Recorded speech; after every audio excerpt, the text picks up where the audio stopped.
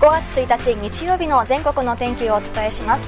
5月スタートは広く傘の出番となりそうです。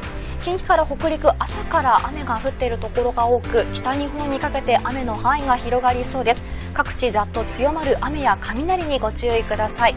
関東は昼間にわか雨の可能性があり夕方以降は本降りの雨となりそうです。